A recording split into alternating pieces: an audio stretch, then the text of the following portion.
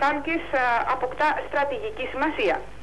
Ο σταθμός αυτός θα καταγράφει, θα ελέγχει και θα εκτιμά τις εφαρμογές του προγράμματος ολοκληρωμένης ανάπτυξης της Χάλκης. Παράλληλα όμως θα συντονίζει και θα αξιοποιεί τις διεθνείς πρωτοβουλίες νέων για συμμετοχή και εθελοντική δουλειά στην ανάπτυξη του ακριτικού νησιού.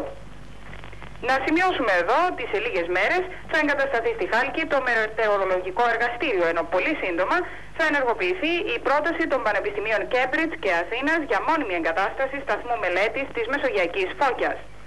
Από την πλειοψηφία των συνέδρων που μετέχουν στο φόρουμ, απευθύνθηκε κάλεσμα προς τους νέους όλου του κόσμου να συνδράμουν στο συνολικό πρόγραμμα της Ρόδου Χάλκης, συμμετέχοντας με τις ιδέες, τις εμπειρίες, τις πρωτοβουλίες και τη δουλειά τους. Η Διεθνής Εβδομάδα Ειρήνης και Φιλίας 1985 είναι πια από σήμερα παρελθόν. Η Διεθνής Εβδομάδα Ειρήνης και Φιλίας 1986, όπως είπαν οι διοργανωτές, θα είναι μια έκπληξη στην κυριολεξία. Εμείς περιμένουμε.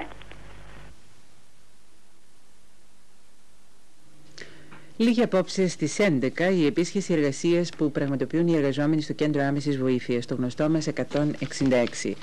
Οι εργαζόμενοι διεκδικούν συμπληρωματικές αποδοχές της κανονικής τους άδειας από το 1979 μέχρι σήμερα. Η διοίκηση του Γενικού Κρατικού Νοσοκομείου, στο οποίο υπάγεται το 166, περιμένει την απόφαση του δικαστηρίου όπου έχει παραπεμφθεί και θα κρυθεί στις 18 Σεπτεμβρίου το αίτημα των εργαζομένων. Για τα επίγοντα περιστατικά βρίσκονται σε ετοιμότητα 10 ασθενοφόρα του Κέντρου Άμεσης Βοήθειας που αποτελούν και το ποσοστό ασφάλειας, καθώς επίσης και όλα τα ασθενοφόρα του ΙΚΑ.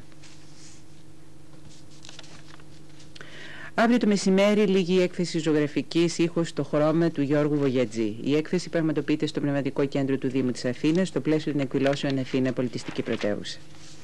Και τώρα θα παρακολουθήσετε ένα ενημερωτικό ρεπορτάζ για το 11ο Φεστιβάλ της Κομμουνιστικής Νεολαίας Ελλάδας Οδηγητή, του οποίου οι εκδηλώσεις άρχισαν απόψε στην Κεσαριανή. Το ρεπορτάζ έγινε με ευθύνη της ε, Κομμουνιστικής Νεολαίας στο πλαίσιο της Συμφωνίας των Πολιτικών Νεολαίων, της Κυβέρνησης και των Διοικήσεων των δύο ΕΡΤ.